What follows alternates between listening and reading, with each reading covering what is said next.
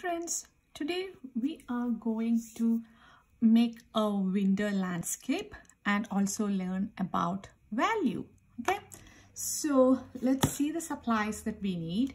We need watercolor, we need crayons, we need half a paper and I have my whiteboard. We are not drawing much today but we need to practice draw some trees. Okay, that's why I have that. And because this is watercolor I have some water.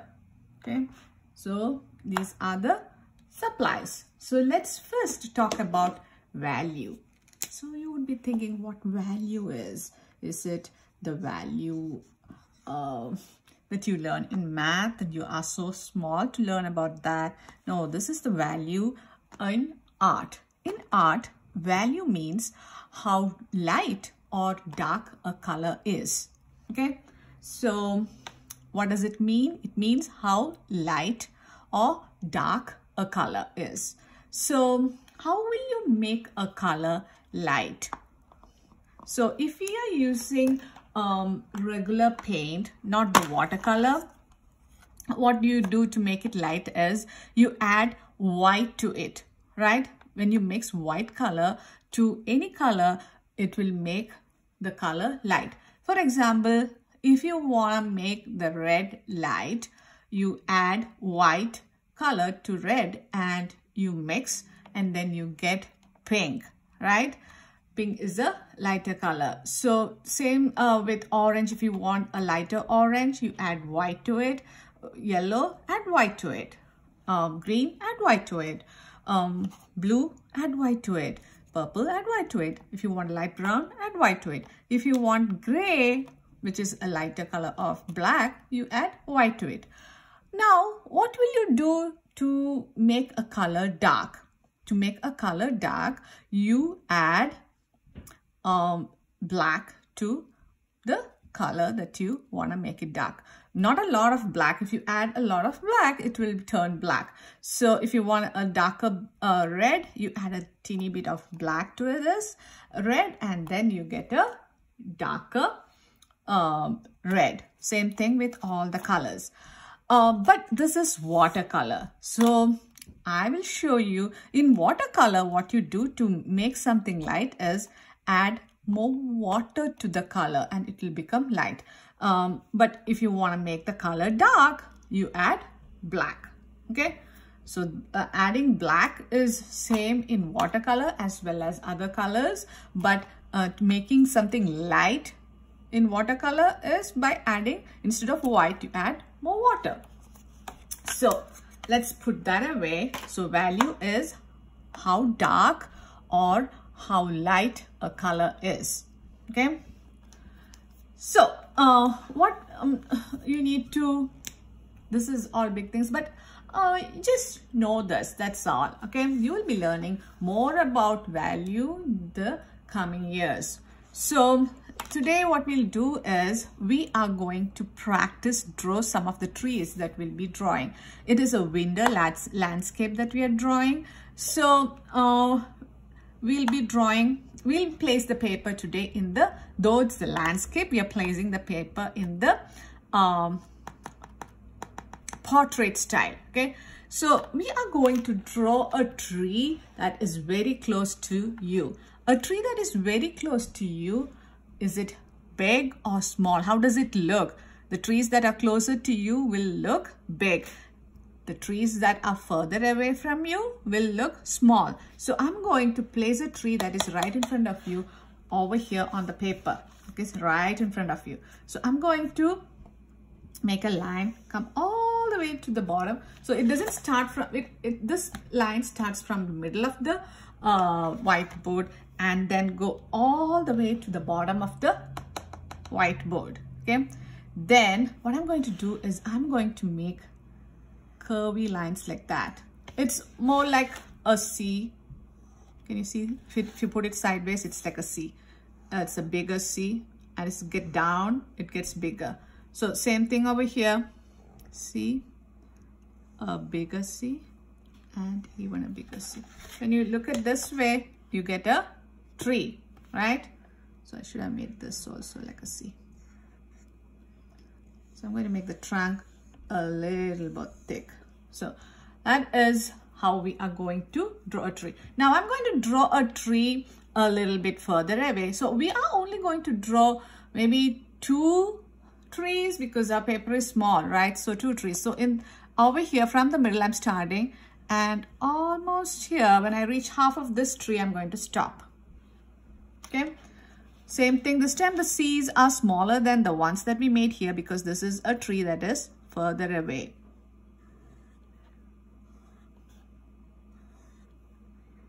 So the C's as it comes down becomes bigger. Okay. So this is all that you need to do uh, for the drawing part and then uh, we'll put some uh, with the white crayons we'll make it look like it's snowing so we'll put dots on the paper like that okay okay that's all that needs to be done so I'm going to now take my paper I'm going to put this away space there. Yeah, I'm going to take my paper. I'm going to take a black crayon. This is my crayon. Black. I have my black here. I'm going to, uh, from the middle of the paper, almost, maybe a little above the paper. Maybe I'll leave like three finger space or four finger space. I'm going to put a dot. I'm going to come all the way down to the bottom of the paper. I'm going to make this line a little bit.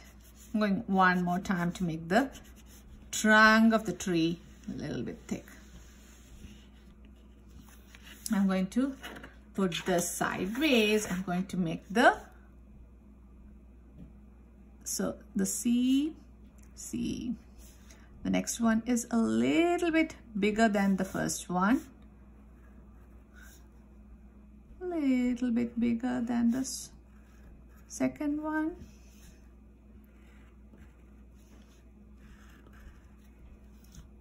This one. I'm not going all the way down, so this much, okay? Let me make the C's a little bit thicker because this tree is right in front of you, right? So you see more of this tree.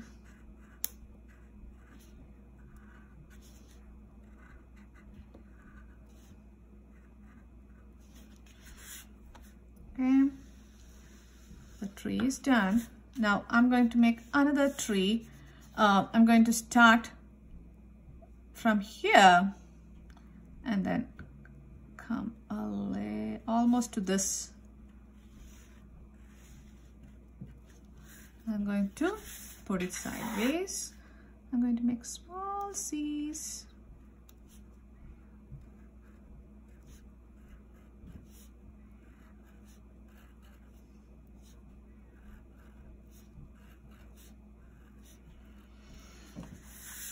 So I have the tree now let's put this away and take the white crayon. Remember how I made the dots? It should be spread out like sprinkles on ice cream. It's not crowded in a point, spread out, okay?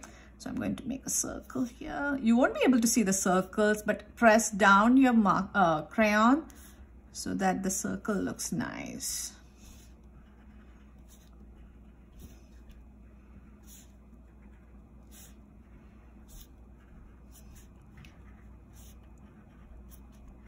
Okay, that many is enough. I'm going to put away my crayon. What I'm going to do next is I'm going to take my pencil.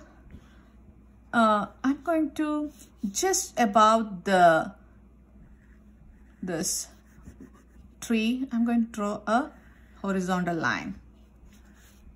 Okay, just about the uh, where this tree ends, I drew a horizontal line. Can you see the horizontal line, guys? I made a horizontal line, this one, here like that, okay? I made it light so that um, it doesn't show up that much, only I can see it, okay? why I made this line is for me to know where to stop when I'm painting. Okay. I'm going to take my water. What I'm going to do is I'm going to make uh, different values, different values of blue. Value is how light or dark a color is. So my color, I'm going to make different values, different like light color of blue, a darker blue or same blue, okay? Different values of blue. So I'm going to, for that, I'm going to add a few drops of water in blue or maybe yeah it's okay. I'll just put water in blue and then I'm going to swirl lightly. I'm going to dip my brush in water. I'm going to dip my brush in water. See that you're holding the brush the right way uh, above the metal part. Dip in water. Now take a dip in the paint and then paint dip in water swirl in paint and then paint. So we have a light blue. Dip in water, dip in paint. Dip in water, dip in paint.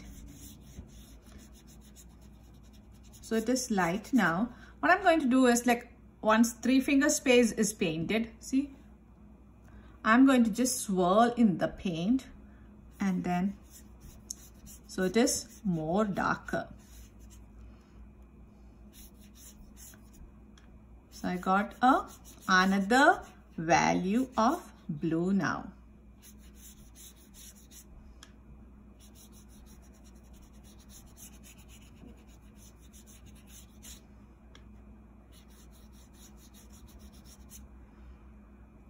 So I'm just swirling like one time and then painting, okay? So once that much is done, I'm going to just blend this now what I'm going to do now is I'm going to swirl my brush um, lightly in black, once in black and then in the blue and then I'm going to paint the bottom. So I got a darker value. Can you see? Swirl once in black and then more in blue. So I'm going to now go over the line that I made and then I'm going to spread the paint. Can you see the black mix? Swirl in black, swirl in blue. And then you are done. So you got different values of blue and you are done with your art. Doesn't it look like uh, the, the tree is standing in the snow? That this, You don't have to paint the ground because the ground is covered with snow. That's why um, it is white.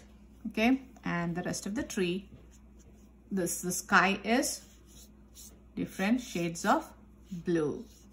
Not uh, shades, different values of blue. Okay. Hope you guys enjoyed this art today with me. Till we meet next time.